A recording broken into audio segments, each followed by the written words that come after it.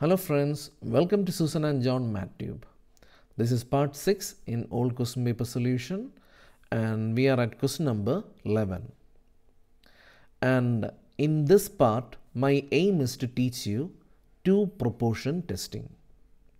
So we will do one question from the question paper and I'll give you one more question so that you get a very clear idea about two proportion testing.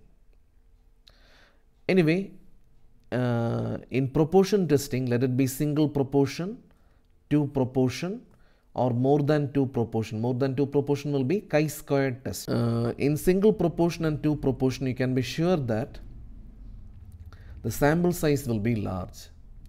And if the sample size is large, we are going to use Z calculated and Z tabulated. And second thing, when it comes to two mean, when it comes to paired, when it comes to two means small, large, whatever, two proportion, I feel writing H1 will be more comfortable for you. And H1 means the alternative hypothesis. That is what exactly we are trying to prove or whatever we are trying to talk about the population using the sample. Okay, so we have a question Dyson company. Uh, the question is a little bit vague over here, but we can understand. They're talking about the defectives. And we have to investigate. They've given the proportion. They've given that 1% person is defective out of 200, 2% is uh, defective out of 300.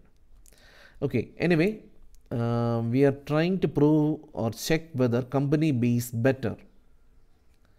Look at this. Let P1 and P2 be the population proportion of the defective items. Listen very, very carefully. They are talking about defective items. So, if company B is better, so if company B is better, then that means if company B is better, then that means the number of defectives produced in company B will be less. I'll repeat once more. If company B is better, then the number of defectives produced in company B will be less. So this is exactly what we have to check. That is proportion of defectives in A is more than that of B. Then we can say B is better. And H naught of course will be the reversed in equation P1 less than or equal to P2. Now let's put it in the standard format. P1 minus P2 less than or equal to 0. Remember the right side is still delta and small delta and the alternative P1 minus P2 greater than 0. So this is a right tailed test. That means I am not going to write alpha by 2, I am going to write alpha. By the way, ah, yeah, alpha is given. So please write level of significance, alpha is equal to 0.05 level of significance alpha is equal to 0.05. Now the most important step, the calculation step that is step number 3. So step number 3 calculation and first of all let's write proportion. Look at this if you want you can use the percentage directly. If you want you can use the formula uh, what you call percentage directly and uh, I'm going to use the proportion, not the percentage. So I'm going to calculate the sample proportion. Look at this. Sample proportion will be denoted by cap. And in some books, they put tilde. Okay. So anyway, the sample proportion of defectives is 1 percentage out of 200. And that comes to 2 out of 200. So we have P1 tilde or P1 cap is equal to 2 out of 200. So remember I am not using the percentage I am writing the actual proportion. Now P2 cap is equal to 2 percentage out of 300. Uh, that means 2 out of 100, 6 out of 300. Yeah. So there will be 6 out of 300. Now if you are writing the proportions uh, you can if you if you have the actual proportion you can call this x1 n1 x2 n2 anyway we have to calculate something called the combined proportion pw and Pw is given by uh, what you call x1 plus x2 by n1 plus n2.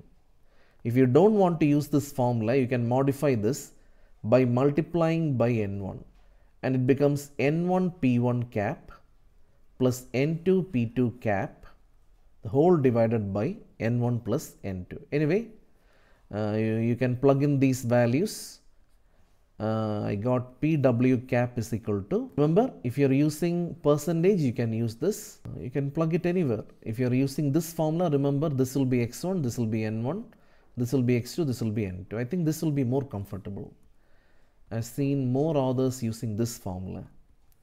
Anyway, pw cap is equal to 0.016 please check it. Now the formula for Z calculated goes like this. P1 cap minus p2 cap the whole divided by root under combined proportion 1 minus combined proportion as a product 1 by n1 plus 1 by n2 and that will be here n1 is 200 300 is just plug in all those values.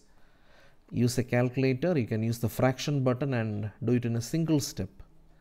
6 by 300 the whole divided by root under 0 0.016 1 minus 0 0.016 into 1 by 200 plus 1 by 300 and I ended up Z calculated is equal to minus 0.873. Now come on tell me what is step number 4? We have done so many problems I am sure that you are used to it now.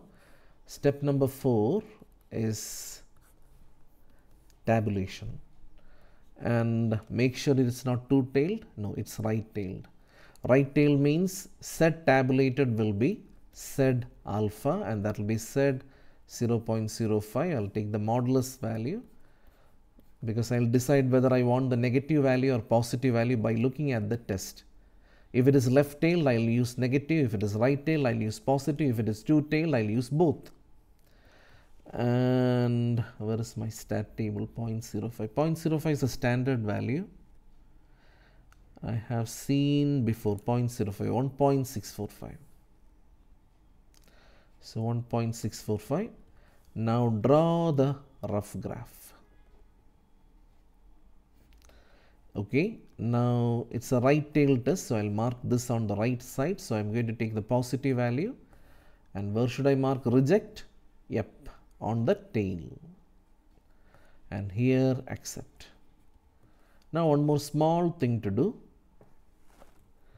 compare so step number 5 what is step number 5 the decision making step minus 0.873 Oh, that is in acceptance region. So that's it, finished.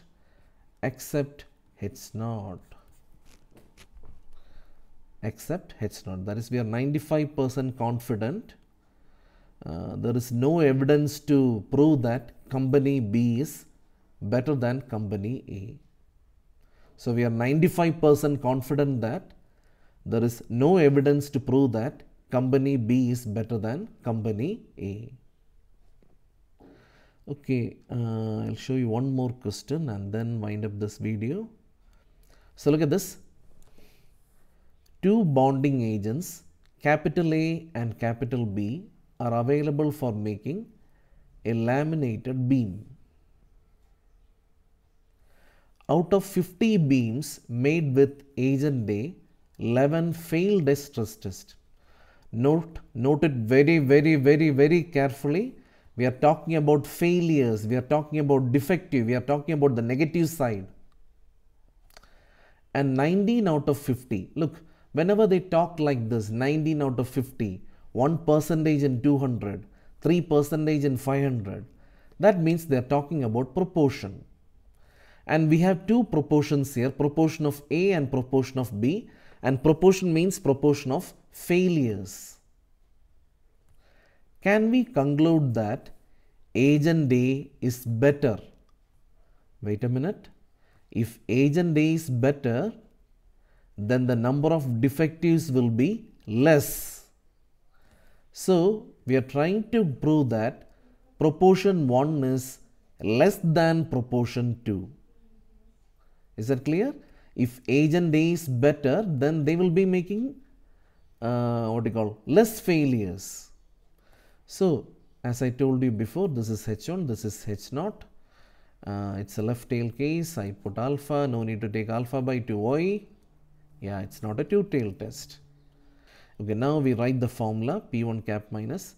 If you want, you can use this formula. If you don't like this, you can go for N1 P1 cap plus N2 P2 cap, the whole divided by N1 plus N2 and the advantage is if you use this you can use even percentage directly. And that's it. You got calculated minus 1.75 and it's a left tail test so it's in the rejection region. So reject h0 that means accept h1 that means uh, agent a is better that's it my friends i hope you understood testing of two proportions properly but remember, watching this video is not enough. You have to work out a lot of questions. Watching this video will help you understand or now you are in control and if you work out, not read, not watch, you have to work out with pen and paper.